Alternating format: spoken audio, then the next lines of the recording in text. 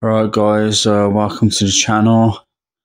Um, just want to talk a little bit about when people insult you or say bad things about you, or um, like, kind of like, yeah, say nasty things. Like, um, just want to talk about that. Don't let it get to you because really it's just them projecting because they're. Uh, kind of like upset about your anointing or or um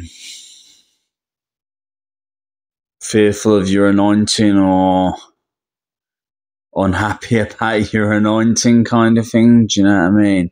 Your life upsets them um because they're not happy with their own life basically.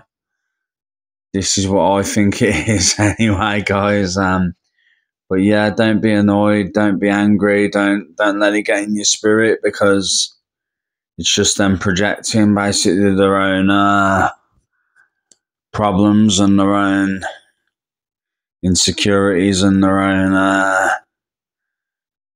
I guess, fears on you. So yeah, guys, don't don't be worried about it. Um, don't let it bother you. Um, yeah, um, because people are going to talk, people are going to say stuff. Do you know what I mean? Um, sometimes not very nice stuff. Uh, they'll joke at your expense. They'll say bad stuff about you. They'll gossip. Do you know what I mean? People do all this sort of stuff. Um, but yeah, your anointing's still there, so why worry? Do you know what I mean? Um, God's still got his favour upon your life, so just let it go in one ear and out the other, let it brush off you, sort of thing. Um, that's all I can say, really. Um, and let you let your results speak for themselves let your successes and the favour of God on your life speak for them, speak for itself. Um,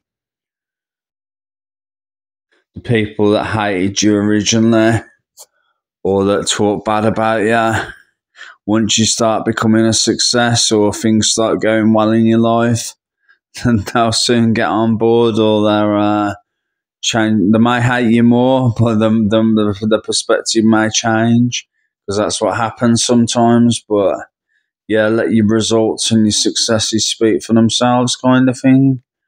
Um, let the favour of God on your life speak for itself, more importantly, because that's the most important thing. Do you know what I mean? The anointing and the favour of God on your life.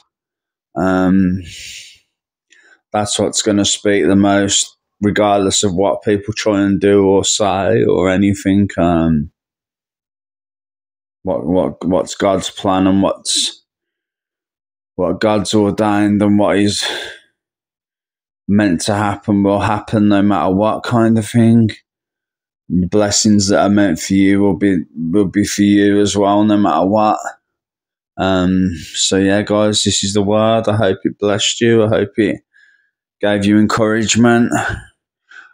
Hope it hope it helped you in some way. Be back soon with another word.